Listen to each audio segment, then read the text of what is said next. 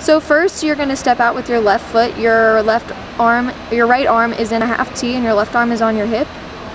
And you're gonna pull your right arm to your left shoulder with your elbow up. Two, you're gonna break your arm into a low V and pop into your right hip and your head is tilted to the right. Three, you're going to put your arms through the low V motion as you're stepping up to put your arms behind your head on four. Five, your arms are in a clasp at your left shoulder as you step on your right foot and you straighten them to your right hip and step back with your left foot as you're about to turn around. Seven, you're in a high V and you break your arms up and you hold eight. For one, two, you're gonna cha-cha onto your right foot and shaking your palms into a low V. Hold three, four, Five, you're gonna break your arms out into a T and you're gonna center your feet out.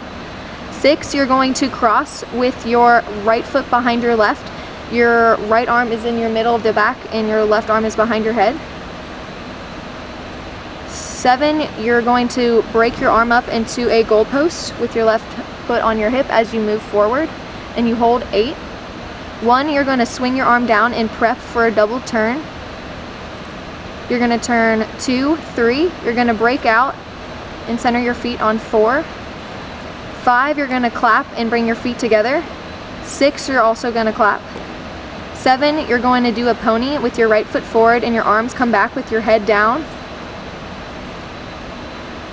Seven, your head comes back up and you clap again, switching to your other foot. Eight, wait, what are the you clap one, two after the pony.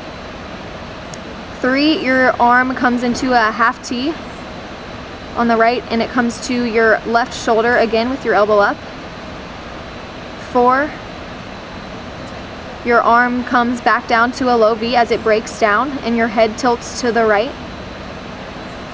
Five, six, you're gonna pop your hip up and shake your right arm palm into a low V and you're gonna pop seven, eight. And one, you're going to put weight on your left foot and your left toe is popped. Your left arm is in a low V with your fingers facing forward and your right arm is in a box. Two, you switch your arms to do the exact opposite thing. And you straighten your right leg and your heel is up. Three, you're gonna go back to the motion on one and four, you're gonna go back to the motion on two. And five, you're gonna snake to the other side. And your right arm is in a box and your left arm is straight in a low V with your knuckles facing forward. And your right, left foot is bent on five. Six, you're gonna switch your arms and straighten your leg. Seven, you're gonna go back to the first motion. And eight, you're gonna go back to the last one. On one, you're gonna step forward on your left foot, your arms come to your hips. Two, you're gonna kick with your right foot right in front of you, and your left arm is in a high V, and your right arm is in a T. You come down, you swing your leg down, three, you hold four. Five, you step back with your right foot and punch your right arm to your left hip, and your left arm is on your hip. Six, you step back with your left foot and you break your arm into a high V. Seven, you circle your arm around your head to do the shampoo motion and you pop your right foot. Eight, you bring your arm through the dagger motion and bring your arms together to start the sequence again. And we're gonna count through that real quick. So five, six, seven, eight.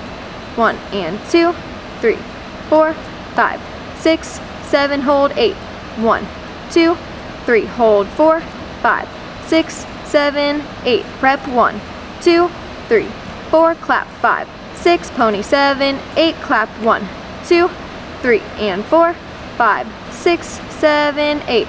Clap one, two, three, four, five, six, seven, eight. Step one, two, three, four, five, six, circle seven, eight, and repeat.